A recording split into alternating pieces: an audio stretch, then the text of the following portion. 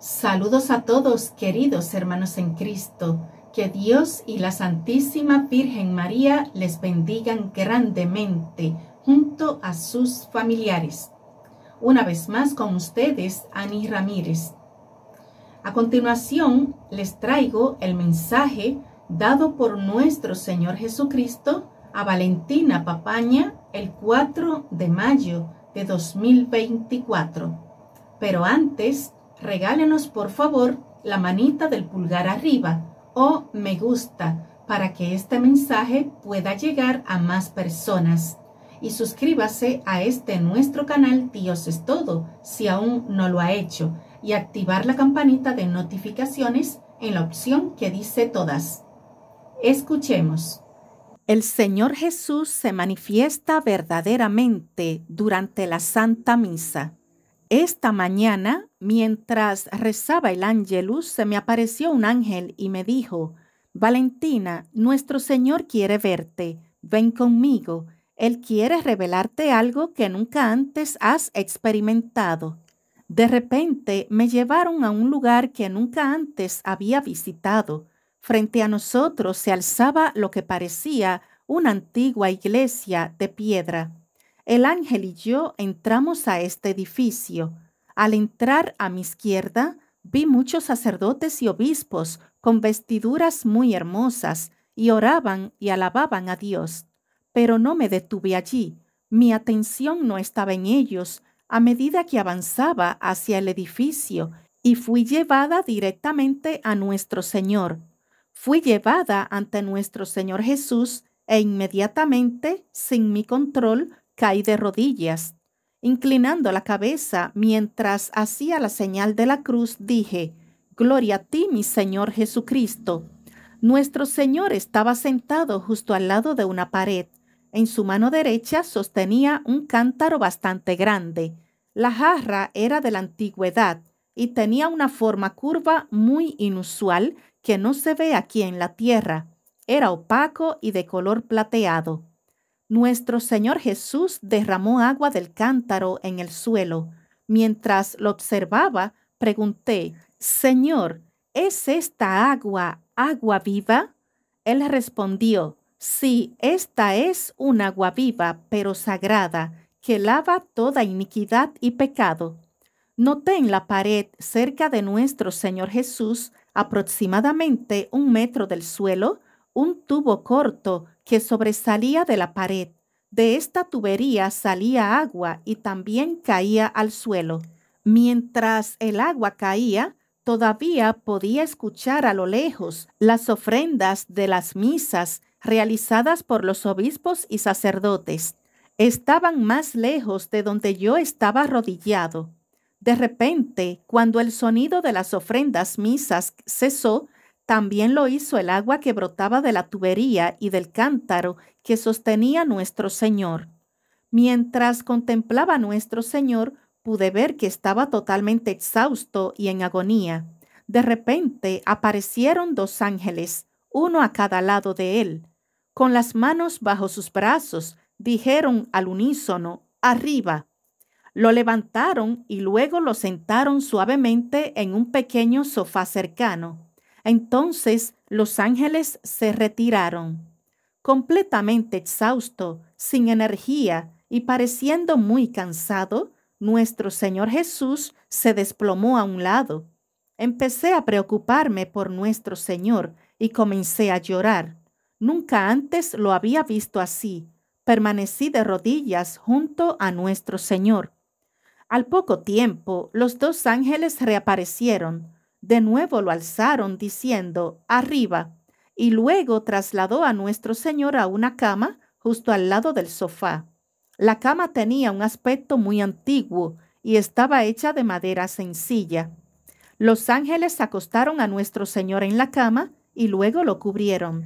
Entonces el Señor Jesús descansó. Me acerqué de rodillas a la cama. Observé al Señor Jesús mientras cerraba los ojos y descansaba del agotamiento total.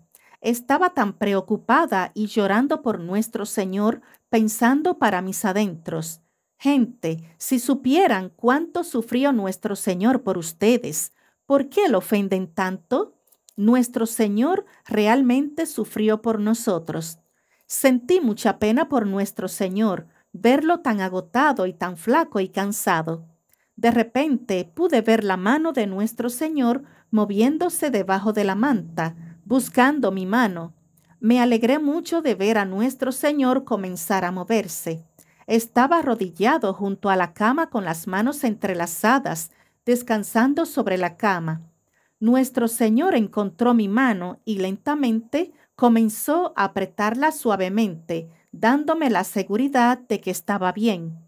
Después de descansar, poco a poco recuperó su energía y con la ayuda de los dos ángeles que reaparecieron, se levantó lentamente y nuevamente los ángeles se retiraron. Yo también me levanté. Me molestó ver a nuestro Señor vistiendo una prenda de muy mala calidad, de color azul intenso. Se dio la vuelta y al hacerlo, dándome la espalda, noté dos grandes agujeros en la tela de su manto.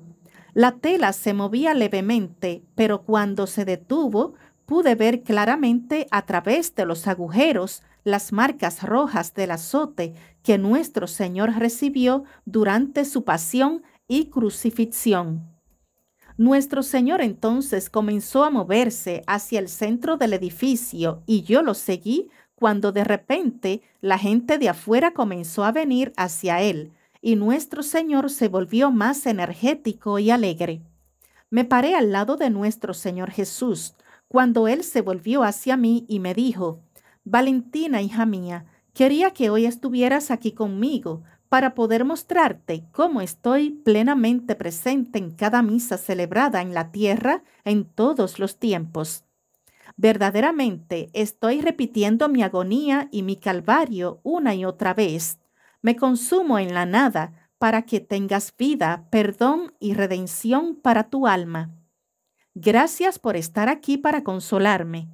Lo sé, Valentina, estabas tan profundamente conmovida y compadecida de mí que lloraste. ¿Cómo te amo por eso? Ojalá mis obispos y sacerdotes sintieran pena de mí pero muchos ni siquiera creen que estoy presente cuando celebran la misa del sacrificio. Oren por ellos, dijo. Entonces se acercó a mí una señora santa, prácticamente corriendo hacia mí desde la entrada del edificio, abrazándome y besándome en la mejilla. Ella dijo, Gracias, Valentina.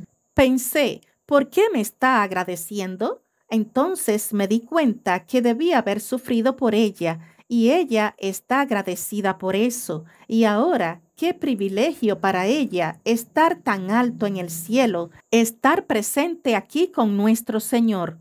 Nuestro Señor entonces se volvió hacia mí y para animarme porque estaba tan sacudido por la preocupación, comenzó a bromear conmigo. Él dijo con una sonrisa, Valentina, hija mía, ¿Crees que tiene posibilidades de ser salvada? Todos nos reímos, incluso nuestro Señor. Por supuesto, ella ya está salvada. Respondí, Señor, siempre hay esperanza. Señor Jesús, tú me enseñas eso. Siempre dices, cuando ores por las personas, diles que siempre hay esperanza si confían en mí. Dije, gracias Señor por el don de la Santa Misa y las gracias que recibimos de ti. Valentina, acepta todo lo que te doy con amor, dijo.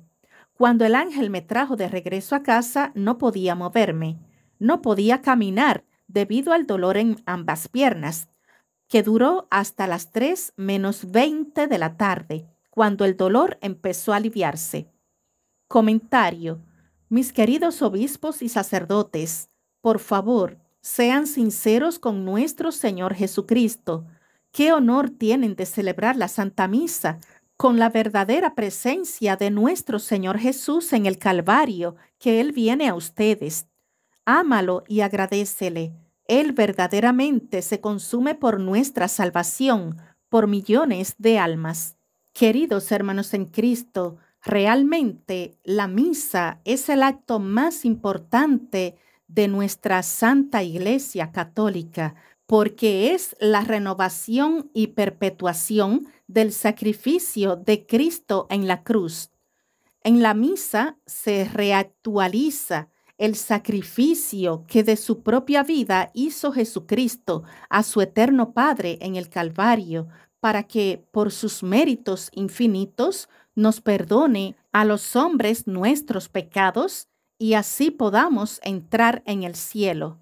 En la misa se hace presente la redención del mundo. Por eso la misa es el acto más grande, más sublime y más santo que se celebra cada día en la tierra. Si asistimos a diario, hermanos, a la Santa Misa, con el corazón dispuesto para Dios y para arrepentirnos y convertirnos, podemos alcanzar la santidad. En la misa podemos recibir grandes gracias, mucha sanidad a nivel espiritual y físico. Es decir, que lo mejor que podemos hacer es asistir a misa todos los días, siempre recordando buscar dónde se celebra la misa, donde se nos pueda dar la comunión en la boca, nunca en la mano. El valor de una misa es tan grande, hermanos, que cuando se muere alguien, el mejor regalo que podemos darle es ofrecerle misas todos los días, porque esto le ayuda a salir más rápido del purgatorio hacia el cielo.